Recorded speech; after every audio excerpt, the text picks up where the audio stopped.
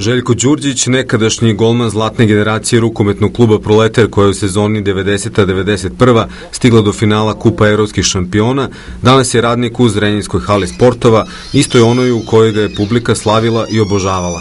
Neočekivani obrt u njegovom životu dogodio se 2004. godine kada je odlučio da se sa porodicom vrati u rodnu Bosnu, ali se igrom sudbine dve godine kasnije vratio u grad na Begeju bez ičega. Danas živi u jednoj prostoriji na sportskom centru Partizan, radi u javnoj ustanovi sportski objekt i kaže da mu je srce puno jer je pre par dana postao izvanično trener golmana proletera i tako se posle 11 godina ponovo vratio sportu.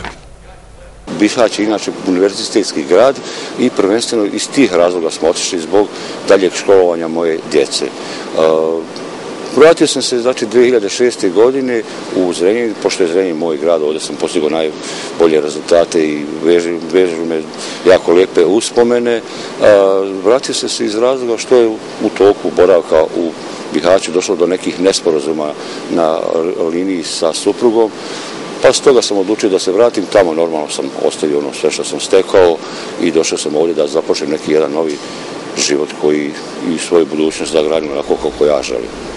Popularni Džigi je pre nekoliko dana promovisan u trenera golmana svih selekcija rukometnog kluba Proleter Agroživ. Kaže da mu povratak na parket mnogo znači.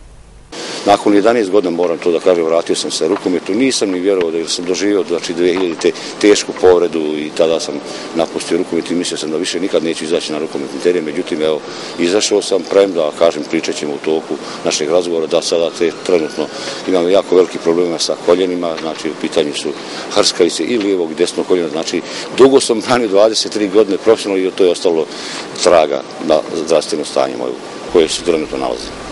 Golmani rukometnog kluba Proletar Agroživ su oduševljeni što su dobili za trenera legendarnog Džigija.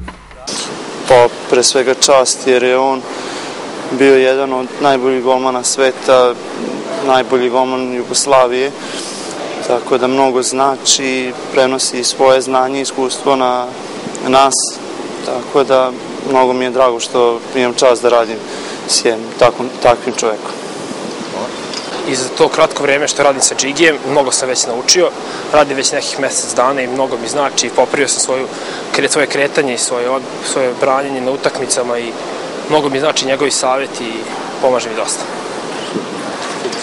Pa, to je to. Đurđić je stao ponovo na gol Madisona posle 11 godina samo na nekoliko minuta na molbu ekipe radio televizije Santos. Naime, legendarni golman proletera je posle 23 godine profesionalne karijere ostao bez zdravlja.